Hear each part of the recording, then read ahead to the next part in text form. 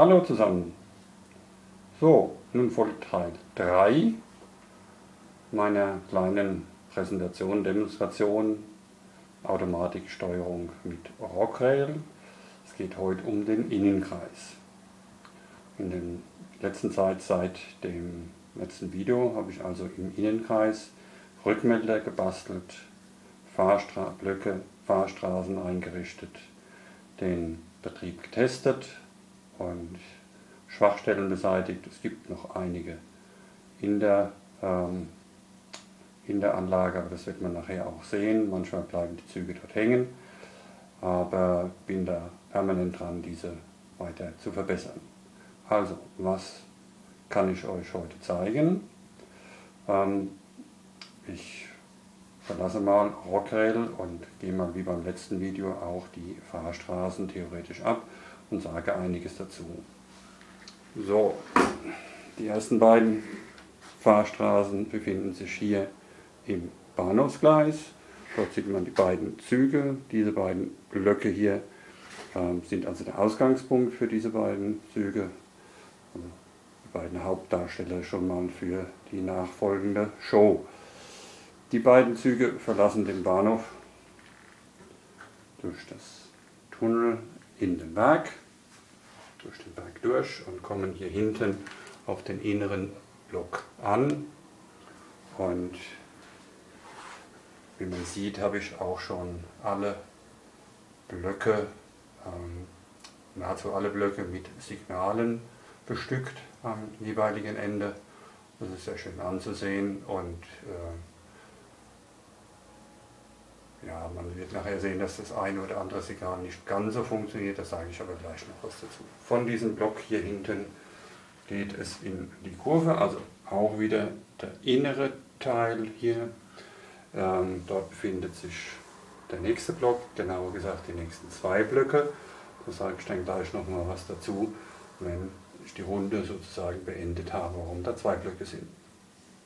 Dann kommt hier sozusagen eine Schallstelle, eine ja, wichtige zentrale Stelle. Das ist einmal hier die Kreuzung und zum anderen die Dreiwegsweiche. Ähm, also erstmal die normale einfache Fahrstraße geht also hier den mittleren Kreis weiter und wie schon bekannt ein Bogen zu dem Block hier vorne. So. Und von dort aus geht es in der normalerweise dieses Gleis entlang dann wieder zum Bahnhof Gleis 1 oder 2. Eine Alternative ist hier, jetzt wird es interessant, an der Kreuzung abzweigend in dieses quer verlegte Gleis, in diesen Block und von dort wird die Lok dann wieder hier über die Dreiwegsweiche, über die Kreuzung wieder in diesen Bogen in der Gegenrichtung fahren. Deshalb sind hier auch zwei Blöcke eingerichtet. Das Problem war, da kommt man jetzt gleich, da sieht man das jetzt gleich über die Kreuzung, dann hier über die Schranke und wieder zurück zum Bahnhof. Also diese Wendeschleife hat am Anfang ein bisschen Probleme gemacht.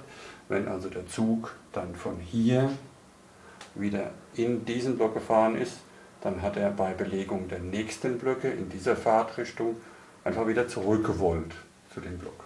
Das wollte ich natürlich verhindern. Das habe ich dadurch verhindert, dass ich bei Ankunft hier, also wie gesagt, zwei Blöcke habe und die Fahrstraße von dort kommen geht also zu diesem Block und kreuzt diesen Block. So dass es von hier nach hier, nach hier zurück gar keine Fahrstraße mehr gibt, sondern immer nur von hier nach hier und hier kann nicht zurückgefahren werden, weil dort ja dann ein Block dazwischen liegt. Das war so eine Lösung, an der ich ziemlich lange getüftelt hat, funktioniert aber bestens. So, kommen wir nochmal einmal zurück. Hier haben wir also eine Schranke, die Fallerschranke. Diese Fallerschranke ist ähm, gesteuert über Aktionen, über den entsprechenden Block. Das heißt, wenn der Block frei ist, frei wird, dann öffnet sich die Schranke und wenn der Block reserviert wird, dann schließt die Schranke.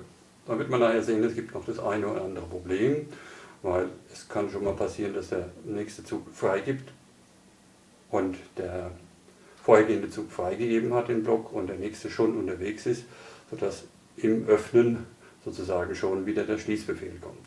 Hier müsste ich quasi einen Rückmelder haben für die Schranken, um genau zu sehen, in welcher Position sind sie denn jetzt gerade.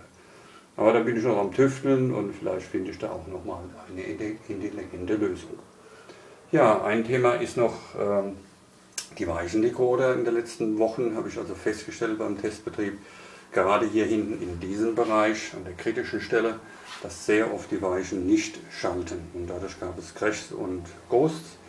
Und das war im ähm, Schattenbahnhof auch schon der Fall. Und da hatte ich dann also auch festgestellt, dass das an den Selbstbauweichen Decoder achtfach liegt. Die verschlucken teilweise im Lastbetrieb die Befehle und schalten dadurch die Weichen nicht. Ich habe sie jetzt ersetzt an den kritischen Stellen durch, durch ESO Switch Pilot Decoder. Die funktionieren einwandfrei. Das war wie gesagt unten im Schattenbahnhof auch schon so. Noch eine Stelle, wo ich noch keinen, eine wichtige Stelle, wo ich noch keinen habe. Also da werde ich dann auch noch ersetzen. Die Weichendecoder, die alten, kann ich sehr, konnte schön gebrauchen für die Signale.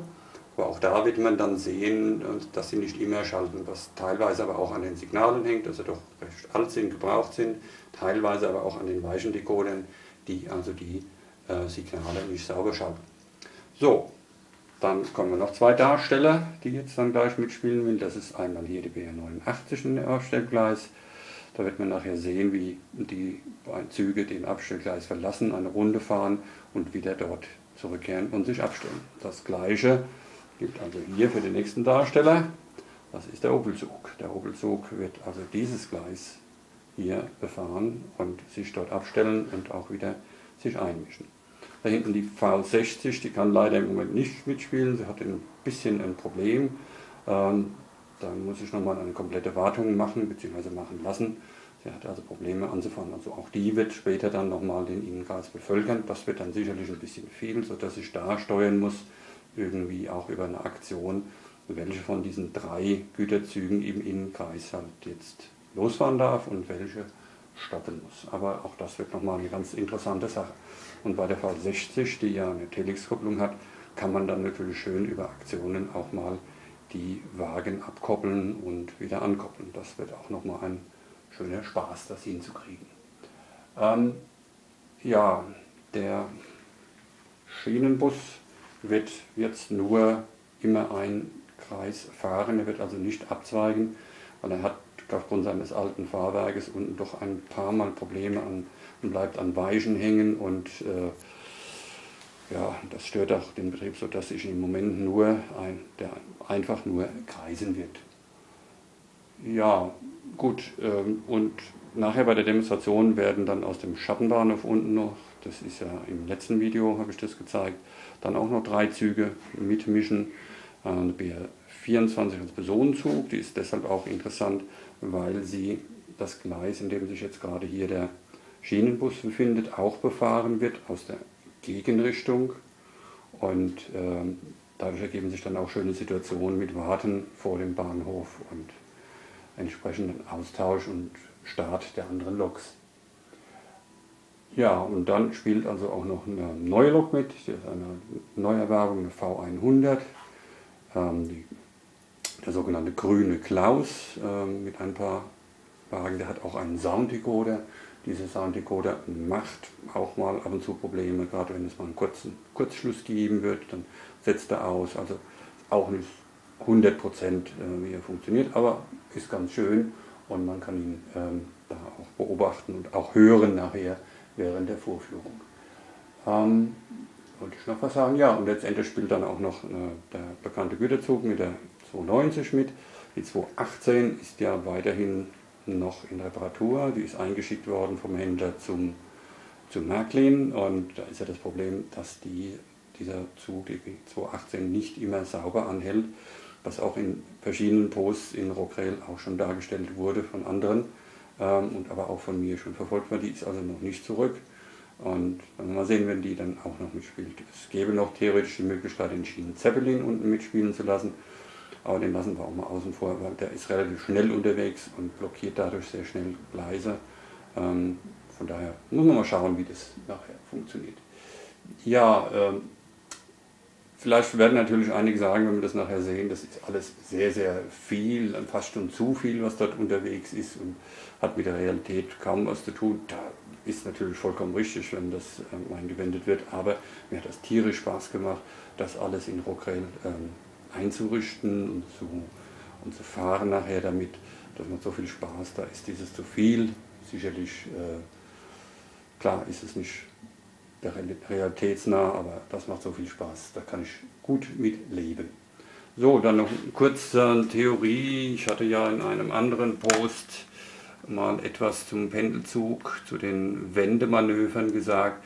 Ich habe da schon mal begonnen, eine Teststrecke einzurichten für den Pendelzug. Da bin ich aber leider noch nicht so weit gekommen, weil wie gesagt jetzt erst der Einbau der neuen Weichendecoder vorrangig war und das Testen des Betriebes, sodass dann das erstmal zurückgestellt wurde.